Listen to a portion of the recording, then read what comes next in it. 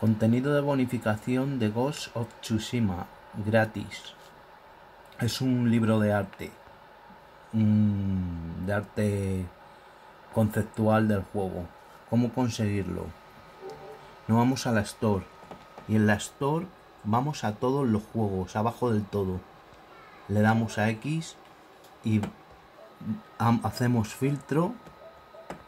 Filtro gratis. Precio gratis. Filtro. El precio gratis. Le damos y nos sale el contenido de bonificación de Ghost of.